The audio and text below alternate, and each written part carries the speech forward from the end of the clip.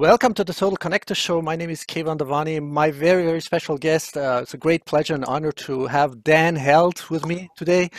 Uh, finally, after uh, seeing him on um, uh, live, personally, face to face, on the Value of Bitcoin conference on June 3rd in Munich, in Germany, it was really a, a super event. Welcome, Dan. Um, how are you doing? I'm doing great. Thanks for having me today.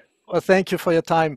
Uh, listen, I've been following you for a really long time. I've been reading your articles. I mean, your articles are really brilliantly written and elaborated. It goes really into the depth and essence succinctly you know into every aspect of bitcoin so you know for because it's about all comprehension my utmost really top priority and mission for myself is really to educate people um, and and trigger initiate you know the process of mass adoption um, uh, I mean, learning, studying, understanding, comprehension, you know, this is like a process that's going to take time anyway. But I just want, you know, people at least to start buying a, a fraction of a of a Bitcoin, you know, a handful of Satoshis, and just hold on to it, hodl, as we say.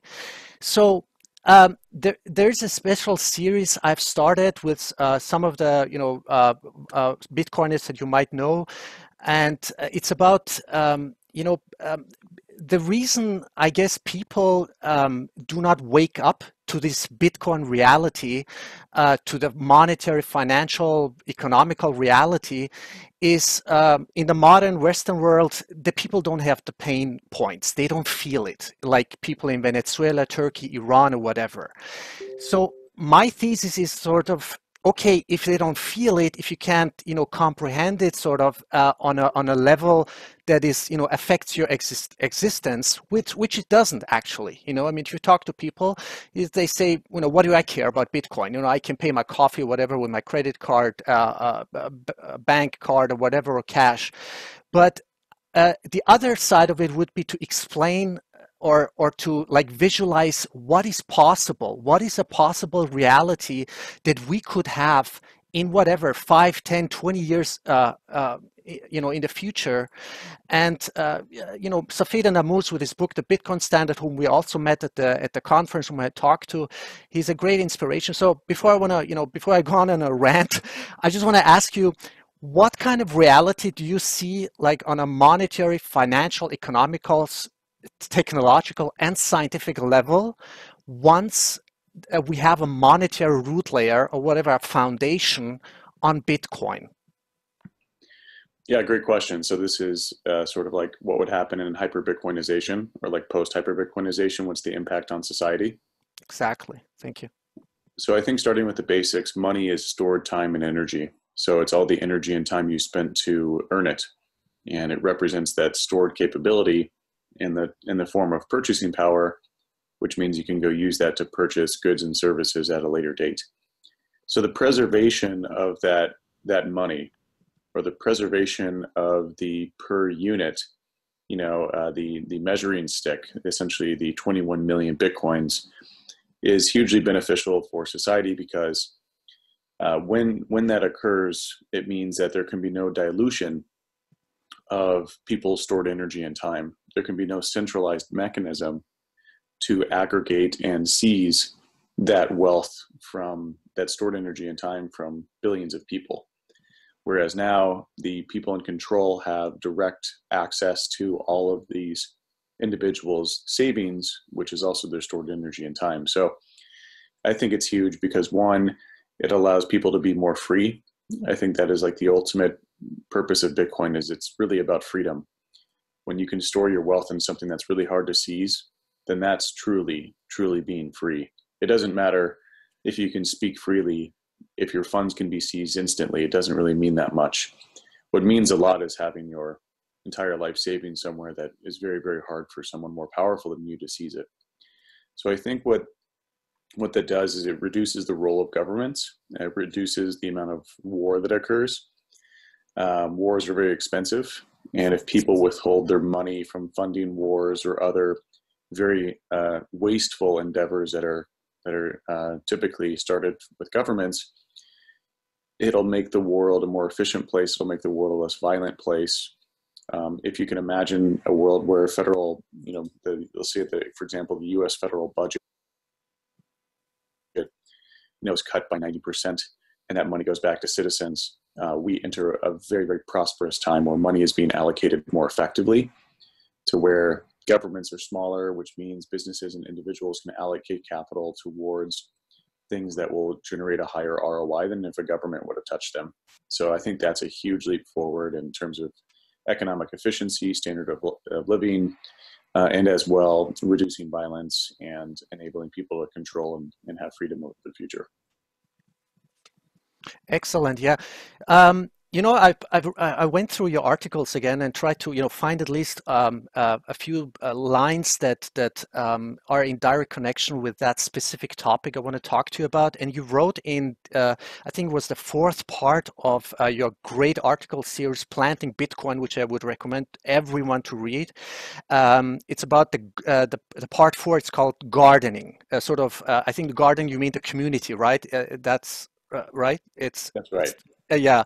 So the sentence uh, uh, is um, quoting out of your article. It says, if Bitcoin grows much larger, it may force governments to become a voluntary organization, and through ho- through hodling, we may finally be free. I mean, it's such a simple but very you know deep uh, wisdom that you actually you know uh, uh, written because it goes directly, you know, it touches that that specific topic we wanted to talk about because there's this chapter in Saifedean Ammous's book where he talks, you know, the comparison of the gold standard, you know, the original, real, right. original innovations in the 19th century under the gold standard, under go, under hard money, compared to the 20th century central banking fiat easy money. Uh, which he says, you know, 20th century is actually more or less optimization, you know, uh, improvement, refinement of, of, of a lot of other original innovations which happened in the 19th century on the gold standard. So my vision, my, you know, sort of desire is to make people comprehend that this is like beyond maybe our imagination and comprehension what we can achieve once we have rooted this monetary root layer of Bitcoin. And I mean, my personal challenge would be, but that's maybe uh, you know a daydreaming, uh, would be like four billion people by the year 2024. I know it's unrealistic, but if we can reach like a fraction of that number, just four billion people holding a, a smallest fraction of a Bitcoin I mean, not you know, besides the price, the value of Bitcoin going, you know, uh, beyond astronomically, you know, by order of magnitude. Um, what do you see? What, what, or what can you? How would you? How would you visualize it? In terms of adoption, or uh, yeah, Exactly. First adoption, you know, so how can we really, I mean, we are far away, you know, from, uh, I heard you talk in one of your recent interviews, you said you wouldn't, and you're so right, you wouldn't trust uh, your grandma with the private keys or something like that. It was so funny. I was like, yeah, that's it. You know, we, it's not easy cheesy. It's not, we are far away, you know, from easy cheesy ch- uh, plug and play. I don't know how the internet works, but we play with it. We work exactly. with it every day. So this is how it should to be but I don't think it's a real challenge or like an art, you know, to just buy and hold. That's it. I mean, we're, we're not really asking much of people. We're just saying, you know, invest into your own future. Yeah, and that's where I think hodling is a, sort of a lifestyle. Um, that in my first article, when I started writing, which I only started writing in September 2018, Mm-hmm. And when I started writing, my first article that I wrote was "Hodlers are the Revolutionaries." Yeah. Because when I got into Bitcoin in 2012, that was a feeling that I had. That Bitcoin is about freedom, and we're revolutionary fighters. Um, which, by the way, I, I, mean that word in a non-violent way. Mm-hmm. Of course, uh, I believe in peaceful uh, protests. But hodlers are revolutionaries because we took tremendous risk. Um, and I think at the top of the article, we've got the quote from Mark Twain Let's see. There's this. Yeah. In the beginning of a change, a patriot is a scarce man and brave and hated and scorned. When his cause succeeds, the timid join him, for then it costs nothing to be a patriot. Beautiful. Yeah, hodlers are the ones who took on the risk, the early, early risk of you know managing their own private keys and learning about Bitcoin and challenging their own assumptions around how does the world work and how does money work and how does the economy work how do central banks work. And we were the ones who were bold enough to challenge that and to believe.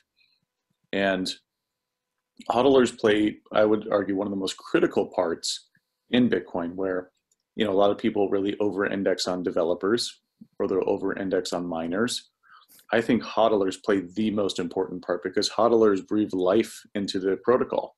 If no you. one valued Bitcoin, then there'd be no one to mine it, and there'd exactly. be no developers working on it. So, yeah. Hodlers are the revolutionaries, and the core part of what makes Bitcoin great. You know, through hodling, it is your non-violent vote against uh, central banks and governments. It's a peaceful vote for yourself.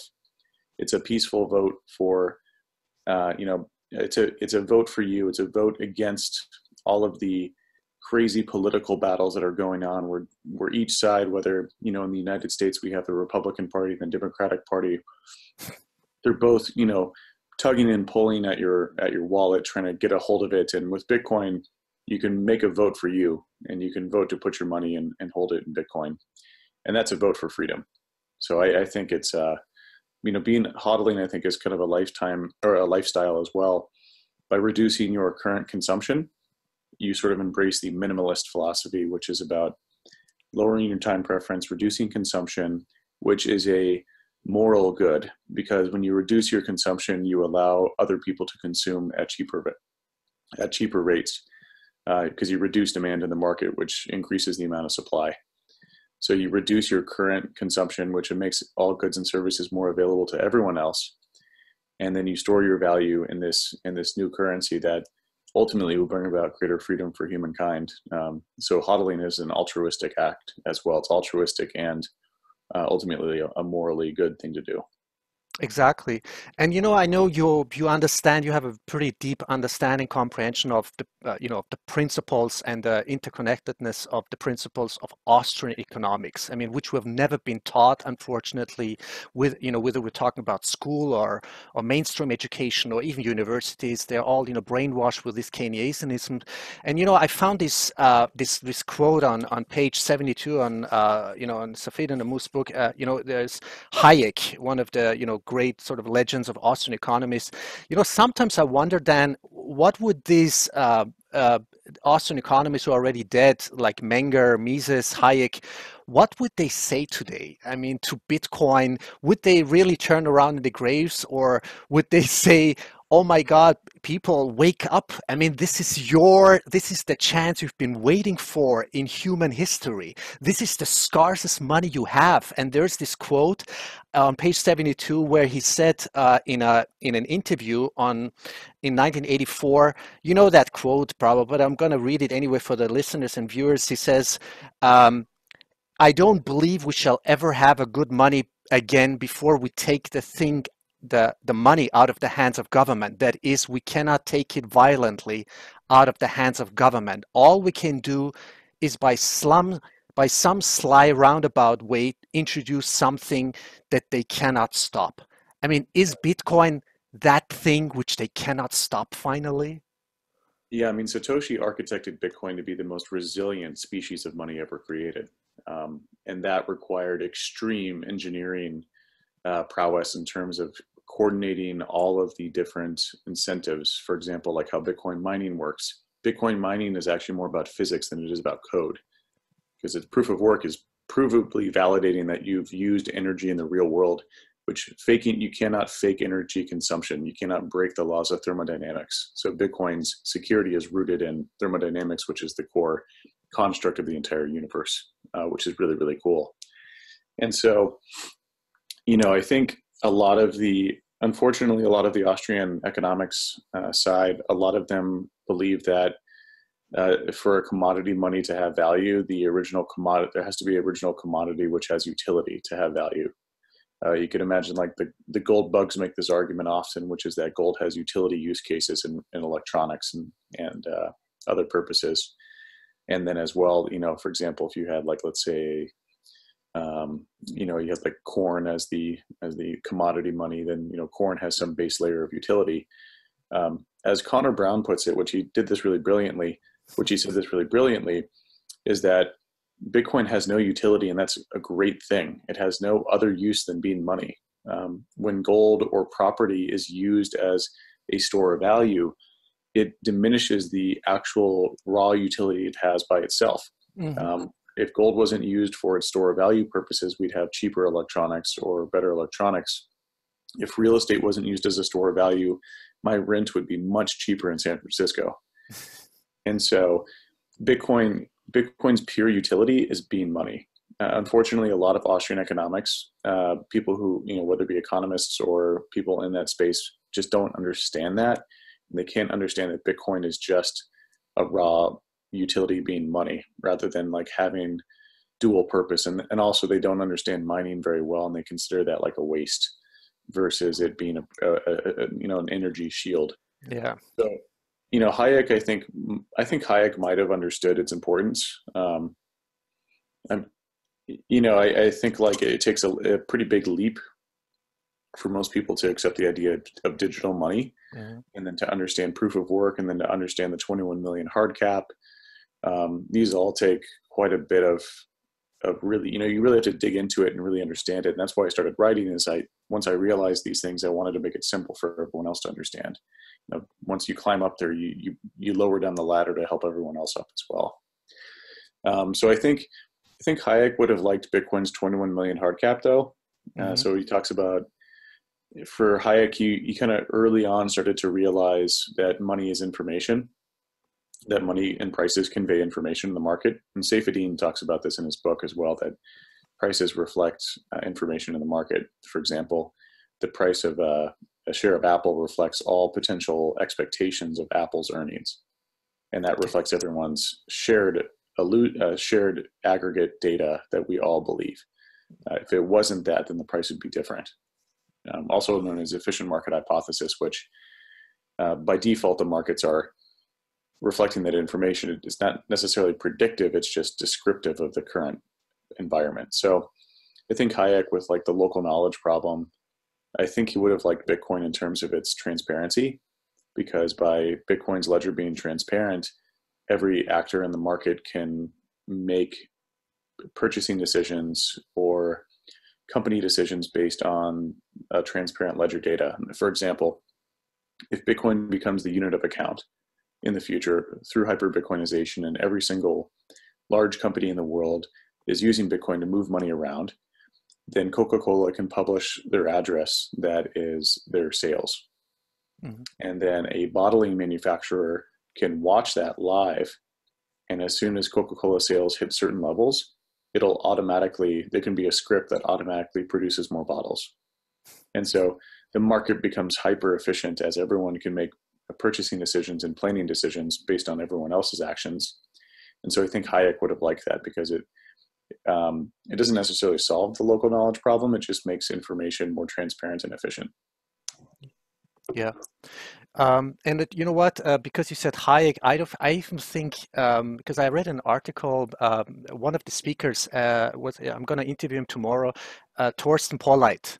Um, remember uh, uh, where he talked about gold and uh, you know the whole uh, low uh, low interest rate and stuff like that. So he's he's like super like expert on on a on a specific uh, subject, which I'm gonna talk to him about tomorrow.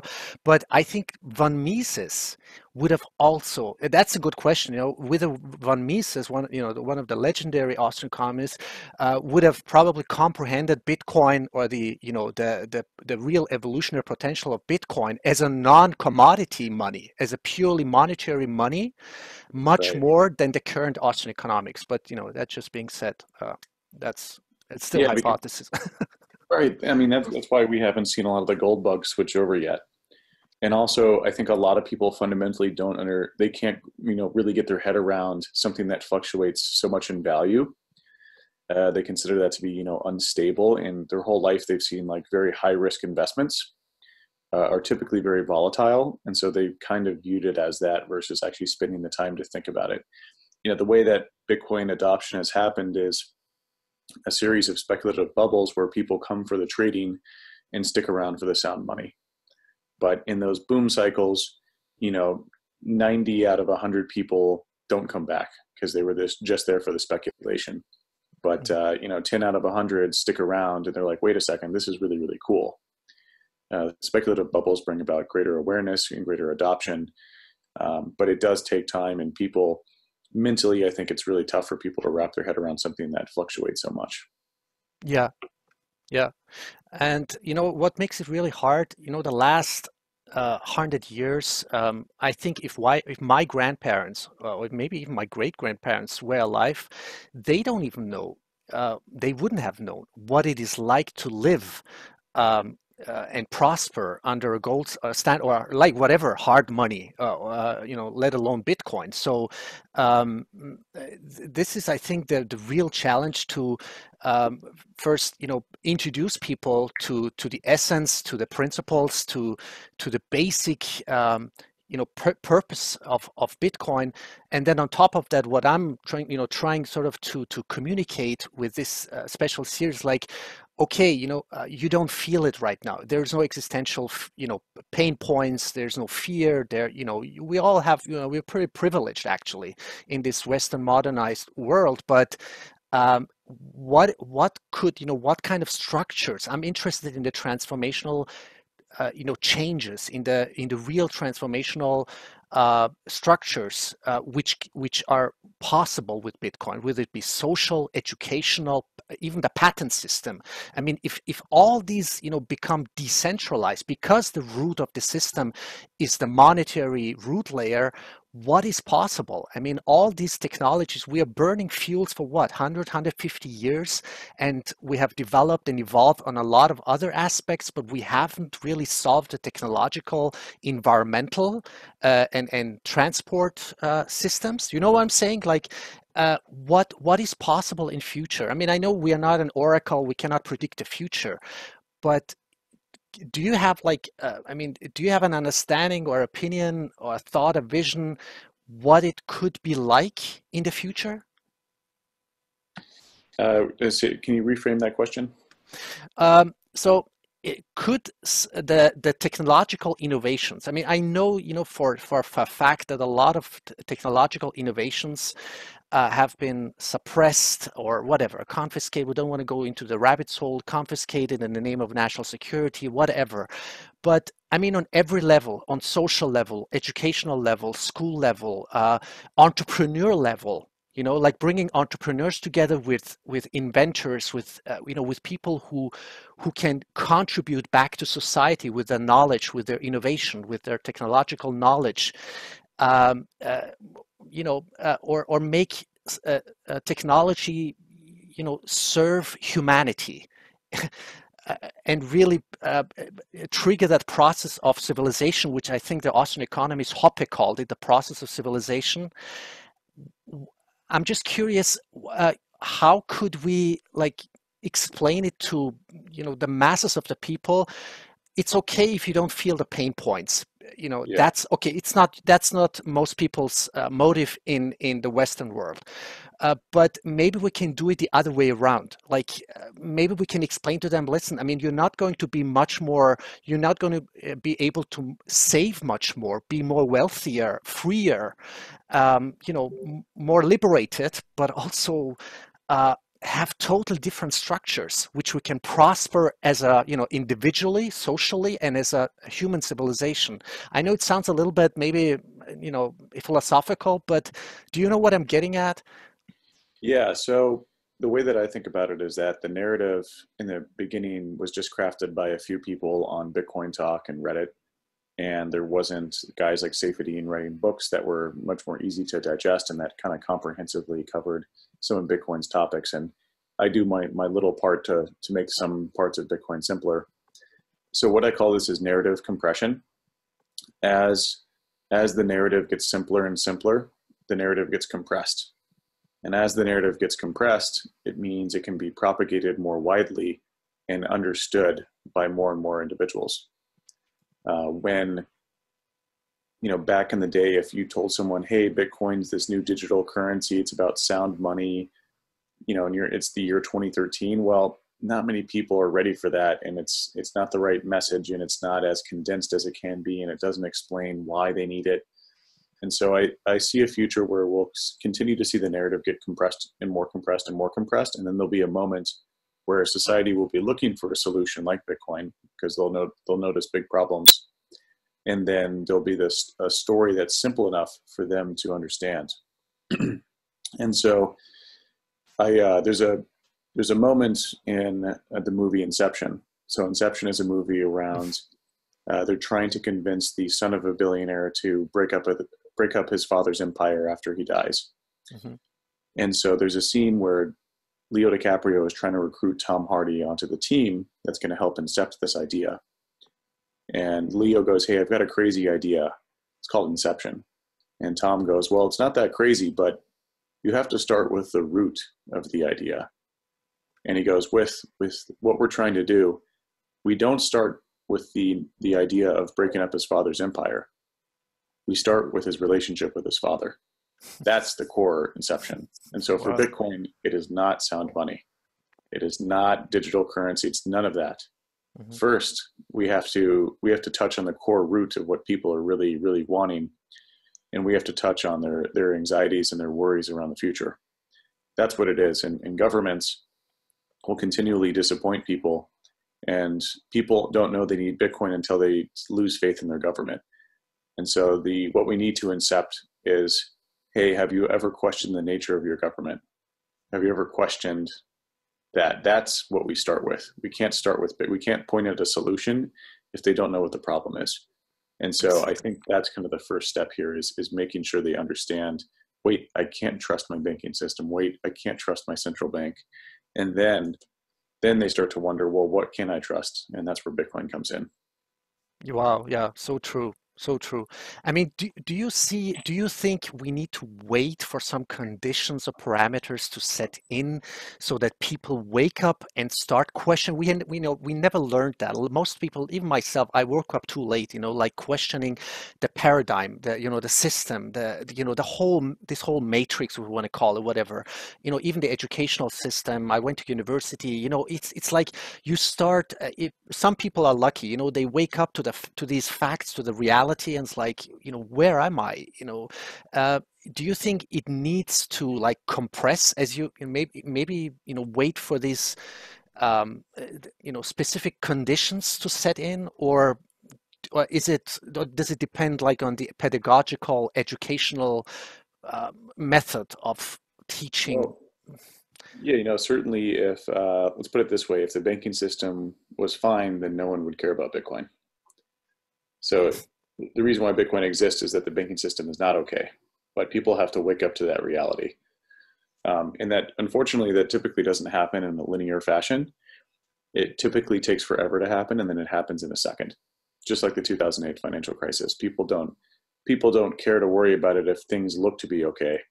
So I do think it'll be very much uh, based on uh, sort of you know one of these sort of uh, moments. I think it'll be more instantaneous then it'll be linear. Um, as Bitcoin's adoption has largely been a series of speculative bubbles, this will simply be one massive mega bubble. Um, you know, there hasn't been a, a, lot, a crisis of faith with financial institutions uh, since Bitcoin was created. Bitcoin was created right in the middle of, or planted, the, you know, the seed of Bitcoin is planted right in the middle of our last financial crisis, but there hasn't been one again. So I'm, I've waited seven years to see this moment and I think Bitcoin will be very well positioned to where if the halving event occurs, if you know Bitcoin ETF gets created, if more institutional individuals get in, that you know if there's a financial crisis in the year 2021 to 2023, uh, Bitcoin might have the biggest bull run in, in its history, uh, just because it'll people will use it for its intended purpose. You know, people have basically just been buying Bitcoin as a speculative store of value asset but if people actually use it as a store of value and as a risk off asset when the whole world, you know, when there's a, crisis of faith in financial institutions, I mean, this isn't going to be a normal bubble. This isn't just a normal speculative retail cycle. This is all of the money in the world seeking to store their, you know, that value somewhere that can't be seized and is immutable in terms of where you can send it. So I, I think it'll be a, a huge, huge moment um, where a massive amount of money shifts over. Totally right. Yeah. I mean, we don't want to throw, I don't want to throw around with numbers, but you know, it's it's really grotesque and absurd. If you look at the, uh, you know, like the global debt number, it's like official, just a sort of normal debt number, it's like 250 trillion. And then if you add up to the unfunded liabilities and derivatives, you come to a number like it's like 1,800 trillion. I mean, uh, three quarters of a quadrillion. And then, you know, this whole, I mean, um, you know, I think people are going to appreciate Bitcoin once they see, oh my God, if it wasn't for Bitcoin, there would be no smooth transition because otherwise it would be huge disruption right? For a lot of people a lot of suffering a lot of pain uh, you know all these things are going on with this you know with all these whatever false flags uh, trade wars currency wars which are you know uh, i think there's a lot of currency wars going on you know circumventing the international reserve currency of the dollar the us federal reserve like you know cr- credit expanding pumping trillions into the stock market. So all these things i think add up add up as an aggregate bubble right yeah, definitely. Um, well, you know, if uh, I recommend everyone go read Deutsche Bank's A Journey into the Unknown uh, 2012 asset, long-term asset management study. Mm-hmm. And so what they did is they looked across 800 years of financial history, and we have truly never been in a moment like this before.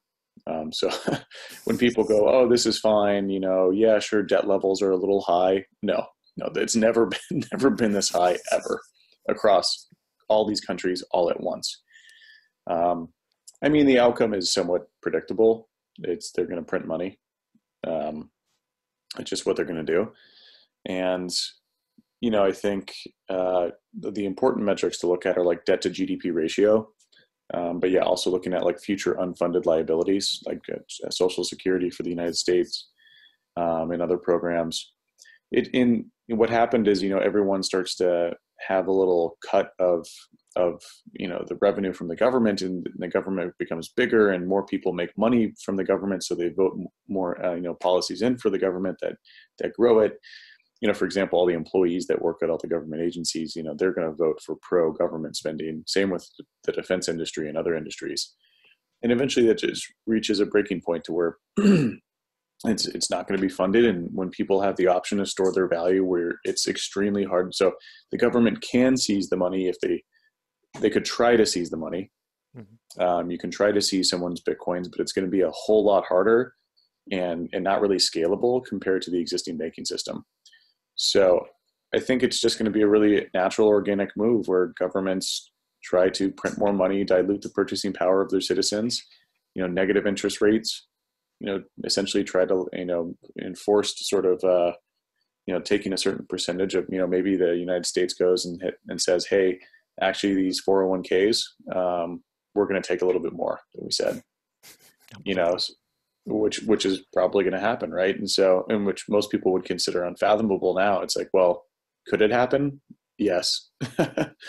And and do they have a strong motivation to? Yes. So uh, that's where i think you know bitcoin just becomes a super organic choice when given the option between dilution and seize, you know a seizure of your money um, it's just kind of like, well, why wouldn't I have Bitcoin? It's it's a I think a pretty easy decision. So I think that takes a long time though, and I think it'll happen in, in sort of those moments when governments, you know, start to panic. But uh, yeah, I mean, it's sort of an I see it almost inevitable. I just don't really see this train stopping, and I don't see how Bitcoin doesn't exponentially increase from here. As you know, right now there's maybe only 20 million hodlers in the whole world. What happens really? when? Mm-hmm. Yeah. Okay what happens if there's 200 million or a 1000000000 mm-hmm. right? And, and what happens when like you know the hodlers so far have just been retail money? Like what happens when the big money the institutional money moves in? You know you know yale puts in a billion dollars or something right? You know that's we we haven't uh let's put it this way we haven't even seen the main show yet. Things are about to get really cool.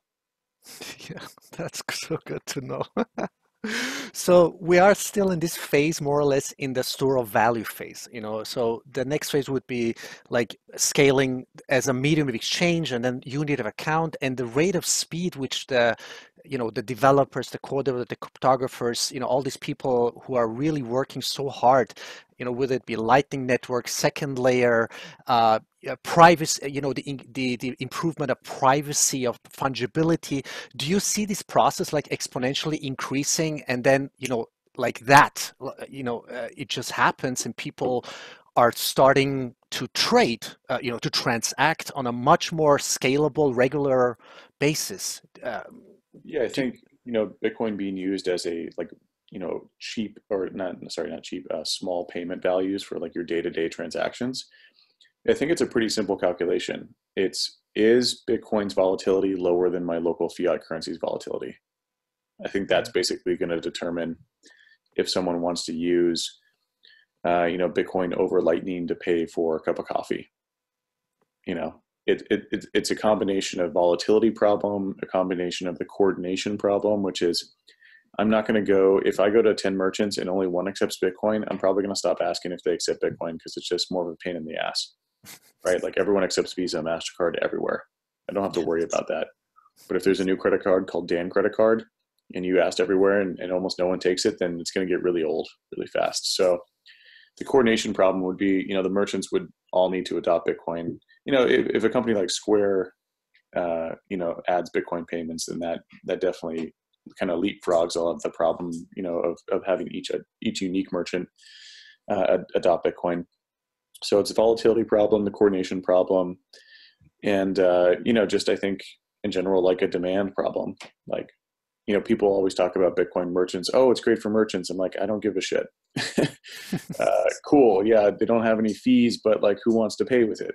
You know, so merchants, you know, I, I don't think it'll be widely adopted until many, many, many people have and, and hodl Bitcoin.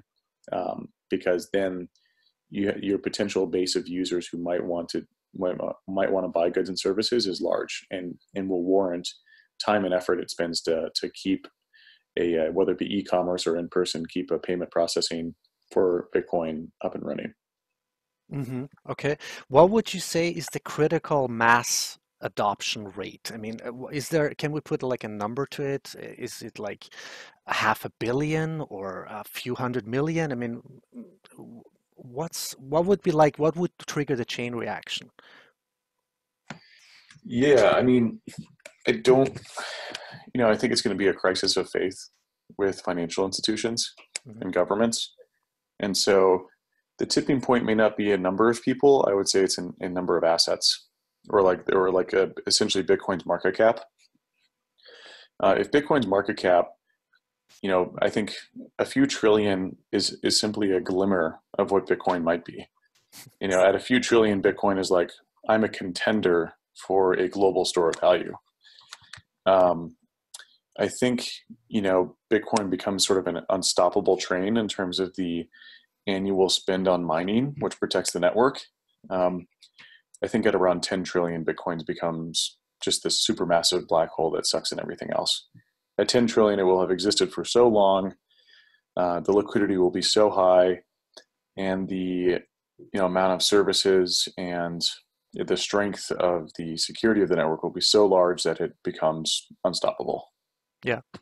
And if the numbers are correct, uh, the sort of the market cap or whatever it's called, the market valuation of gold is funnily eight trillion. So it's like a little bit more than the you know the, the market valuation of gold, right? So uh, if if those numbers are correct, uh, uh yeah, I mean, gold is only worth 7.5 trillion, and if you mm-hmm. look at all the fiat money in the world, I think that's at like 40 trillion, mm-hmm. and all the real estate in the world is 250 trillion. Yeah, and then you look at all these other stores of value. I mean, people forget that like all of those assets can be seized,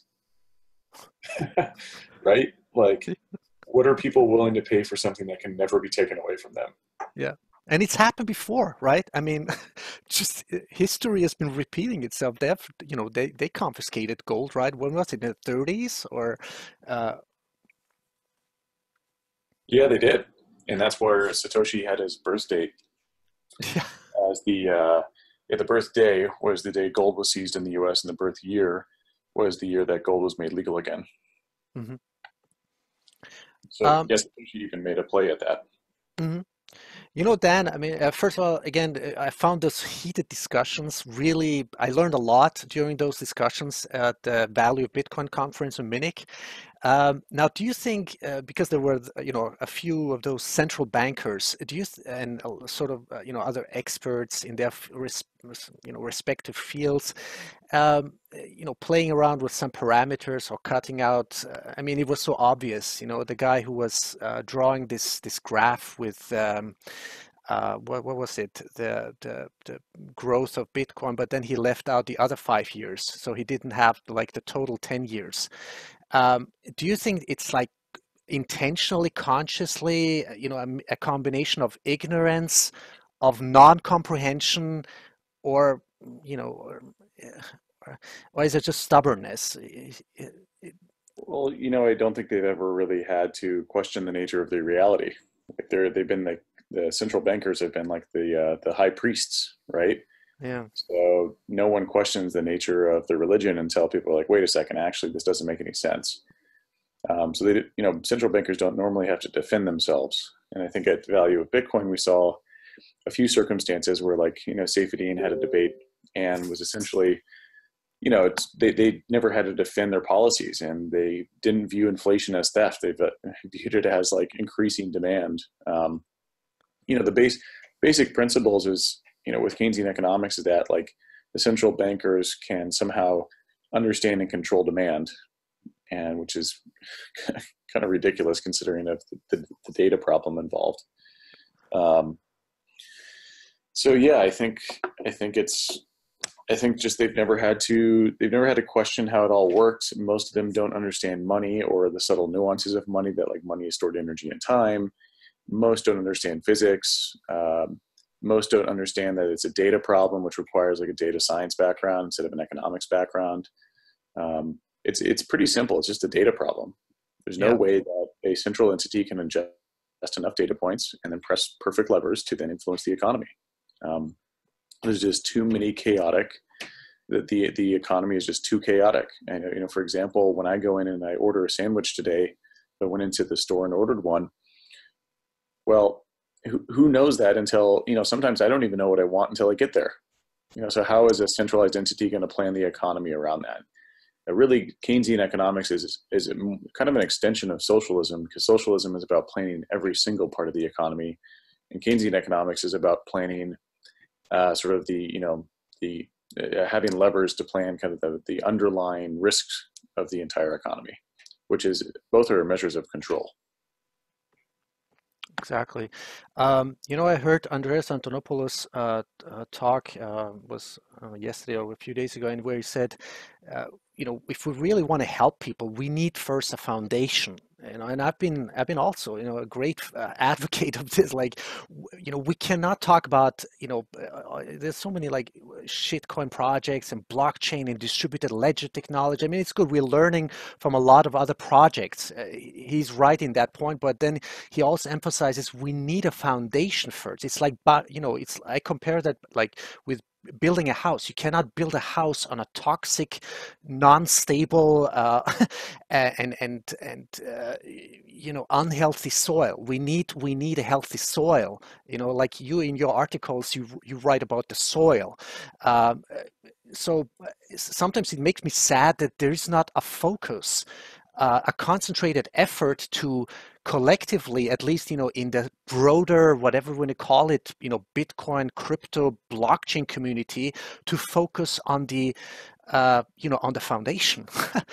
um, where do you Yeah, see I this going? I mean, yeah, it's it's pretty ridiculous. Like people go, well, why aren't you excited about other projects? And I'm like, I I, I have high standards. I'm so, I'm sorry. Proof of work is about physics, and if you want to start shilling me proof of stake, I'm just not going to be interested because it's not rooted in physics and is simply going back to the old systems that we had. Um, and you know, people are like, "Oh well, uh, well, oh, how about this pre-mined coin?" And I'm like, "Well, it had a poor distribution, so again, I'm not interested." Like, Litecoin's cool because it had no pre-mine, but with all these other coins, I'm like, "Well, if it has a pre-mine, I'm not interested." And then it's like, "Oh, well, we're going to choose an inflation rate." I'm like, "Yeah, not interested," because Satoshi's entire purpose of having a 21 million hard cap was that no one then has to decide what the proper rate of inflation is because choosing the proper inflation rate is impossible. So, and then also it's like, well, um, oh, well, you know, we rolled back transactions on Ethereum because of a mistake with the DAO. And I'm like, cool, well, that definitely not interested after that. Um, and then, oh, well, you know, we have a founder who works in this protocol. I'm like, cool, that definitely makes me not interested. So, you know, it's like, well, it's, I'd, I'd, like to be interested in something else, but it just does, there's not a lot of check marks that uh, most of these projects could check. Exactly. And you know, by by saying all these things, they actually admit to their own flaws. So it's it's exactly all all these things that they're saying is actually exactly the opposite of the unique features, characteristics, and architecture. You know, decentralized, open, neutral, censorship resistant. Uh, uh, I don't know what, what, whatever you you know what, whatever comes up to, to, your mind now also, but. Uh, uh it, they're actually admitting it, uh, and it's become so obvious that this is not the architecture that's going to be working on you know uh yeah it's it's it has to be you know to build a building you have to have a really solid foundation and bitcoins has the most solid foundation. Um, you know with ethereum it's kind of like building skyscrapers on skyscrapers. Um, they haven't really solved a lot of the core underlying issues and they, they plan on changing so many different things and that's where you know, as Satoshi said, like the rules have been kind of hard coded in, and, and he's right. The whole point is that by making tons of decisions about base, like layer one changes, whether that be the monetary policy or structure, you're building like a shifting sand underneath your foundation. Uh, you know, if that sand's constantly shifting, it's really hard for everyone else to plan and, and, and work around that. And also, you've now introduced a social attack vector where humans, again, have, have are now able to put their input in and the more humans have put their input in, and that becomes political, and then people start to debate as to what should go in, and they become can become very divisive. Um, that's where you can't have, you know, it, essentially Bitcoin with like the 21 million hard cap was a brilliant idea because Satoshi knew that there would be endless debates about the proper rate of inflation. So that's where when I see Ethereum arbitrarily choose the rate of inflation, I'm like, oh, okay. like uh, it's, it's just so stupid and ridiculous that it's like it's it's just a repeat of the FOMC all over again. And I'm like, wow, okay, so we've literally just built the same thing again. Exactly. And you know, it's just a matter of time till, I mean, people like Adam Back and his team, I mean, whatever projects there are, I don't want to name them, but would it be Blockstream or these guys with this, uh, with their liquid and side chains, people now working in on the satellite mesh, mesh network, it's like really an unbelievable, incredible, you know, rate of speed that it's developing. So everything, you know, people are like dreaming about, like projects and, and, you know, tracking and, and whatever logistics, it can all be, this can all be built on the Bitcoin protocol, right? It's just a matter of time. Yeah, that's where you know blockchains are not about running code. But I mean, blockchains need to have like most minimally minimally be around transaction val or like essentially validation. Mm-hmm. Um, so yeah, I mean, Bitcoin with uh, Schnorr and, and Taproot and Graftroot, or Taproot and Graftroot specifically, you know, those bring about a lot of other smart contract and scripting uh, that we can then use Bitcoin for, um, which is really, really cool. I think, yeah, Bitcoin can do almost everything that people are looking for.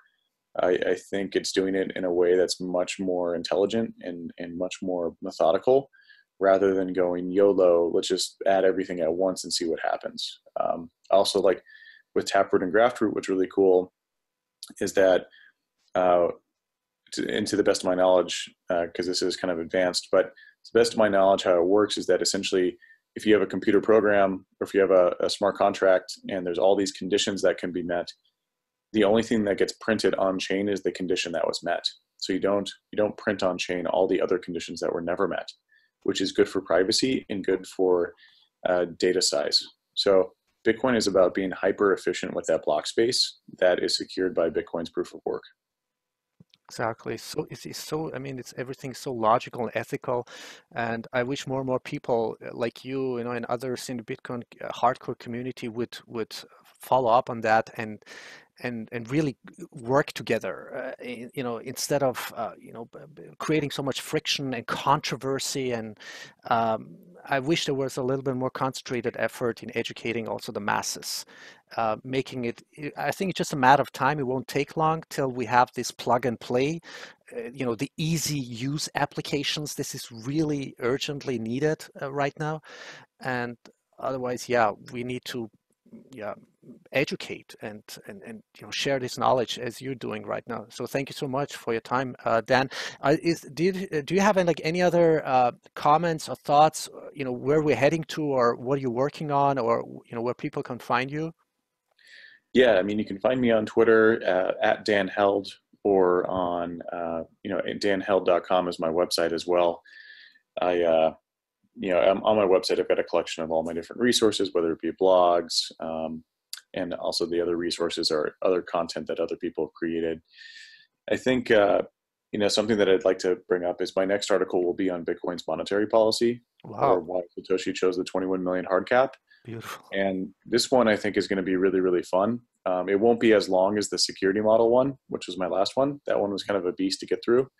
But this one is really fun because it goes into the information theory of money, which is essentially that money is a reflection of information in the market. And so this one, I think a lot of people don't appreciate why Bitcoin has a 21 million hard cap. Most are like, oh, we're just going to go build cool tech and then we'll figure out the monetary policy later.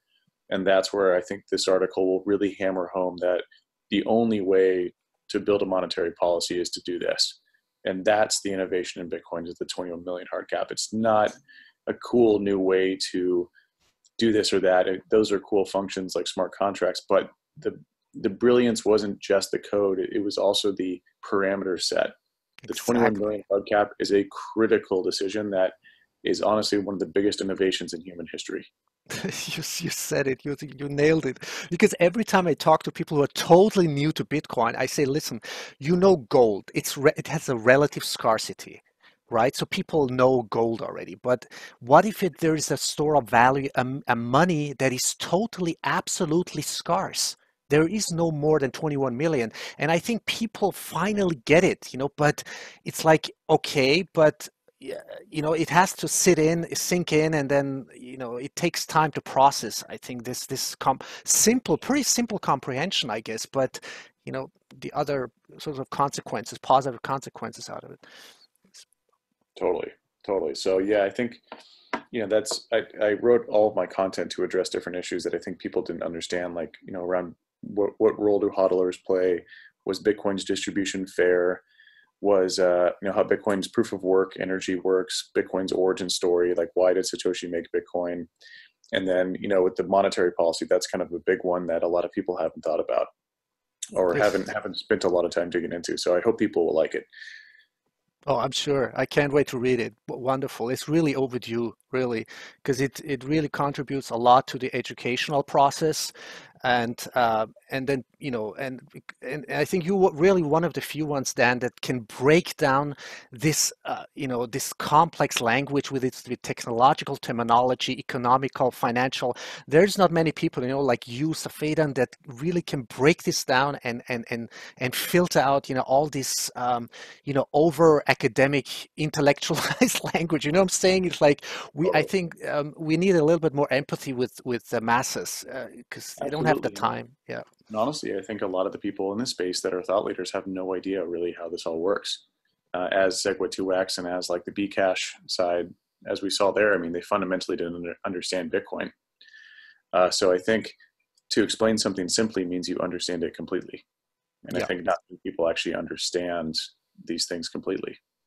Yeah, you know, I always uh, sort of try to extrapolate from my perception and understanding. I'm like, if I'm, if I feel overwhelmed, then how must other people feel like? You know, right. like I have the time, the luxury of time, you know, to study, to read, to listen. I mean, I'm doing this in my free time, sort of as my contribution, as my, you know, I share my knowledge, and uh, this is why I'm doing these interviews. I'm like, this is our moment. This is our moment in human history. I mean, it's never been done before you know and uh, i call it evolution we have no time for revolutions it's time for evolution monetary evolution totally yeah well, we're we're almost there um, but yeah thanks for having me today I had a great time chatting and uh, hope to see you at another conference uh, here soon. Yeah, hope to hope to see you soon. dan thank you so much for your time. All right. Cheers. See ya. Bye bye. Cheers. Ciao.